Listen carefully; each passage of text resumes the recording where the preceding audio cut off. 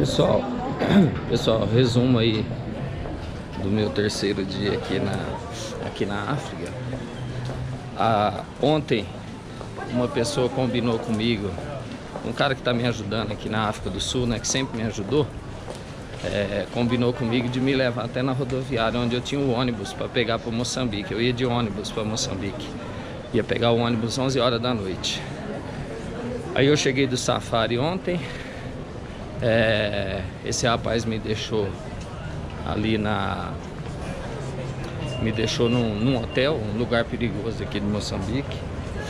É, bem perigoso, um, um bairro aqui chamado Iovile bairro é perigoso. E daí ele me deixou lá no quarto e combinou comigo, ó, nove e meia, nove e meia eu vou passar para te pegar. Aí ele até falou, tranca a porta do quarto, só abre a hora que eu chegar. Eu tava sem comer, ele falou, a gente passa e come alguma coisa. E aí depois a gente vai pra rodoviária. Acontece que deu 9 e meia, não chegou, 10 horas não chegou, 10 e meia não chegou, 11 horas que era a hora do, do, do ônibus sair, ele não chegou. Sei que 3 horas da manhã eu tava esperando o cara chegar e nada, nada, nada, nada. Então, aquela situação não respondia, não respondia contato, não respondia contato e não atendia telefone, não respondia WhatsApp, nada. Eu fiquei naquela situação, pedi ajuda para vários amigos aí. Por quê? Porque eu não conhecia ninguém naquela região, nem naquele hotel. Então aí é, dormi um pouquinho, acho que das 4 às 5 da manhã. Sei que amanheceu o dia, deu 7 e meia e nem notícia do abençoado. Aí que eu tive que fazer? Eu tinha que tomar uma atitude, né? O ônibus já estava perdido. Aí para sair daquele local também, eu peguei o, Uber, paguei um Uber, acho que aqui custa lá do centro aqui custa em torno de 70, 80 reais um Uber, 60, 70 reais. E aí nós eu vim até o aeroporto. Aí depois aqui no aeroporto, é, onde eu vim para comprar passagem, né? Porque eu já perdi a minha de ônibus. Então eu vou ter que tive que, na verdade, que comprar passagem de avião, né? Para mim sair daqui da capital da África do Sul para Moçambique de avião. Eu ia fazer de ônibus para gastar menos. É porque eu venho aqui para ajudar as pessoas. Quanto menos eu gastar, mais eu consigo ajudar os outros.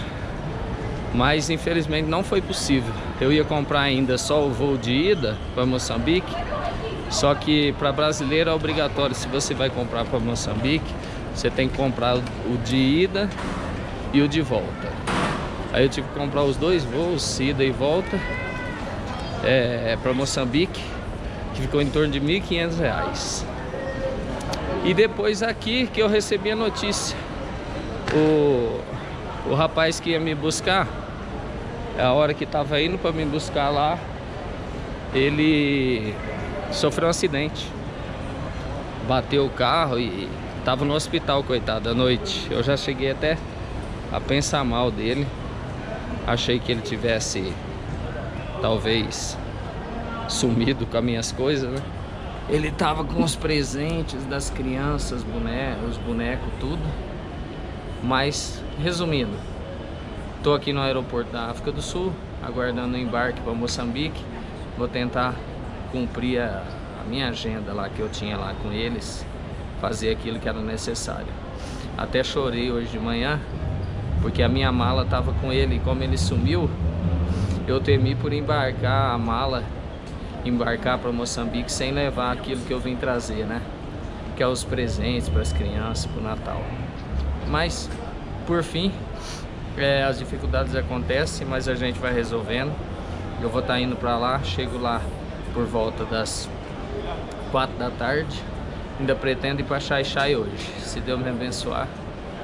Vou para Xai Xai hoje ainda, tá? O irmão que sofreu o acidente tá bem, só teve bastante avaria no carro. E foi isso aí que aconteceu. Obrigado aí para todo mundo.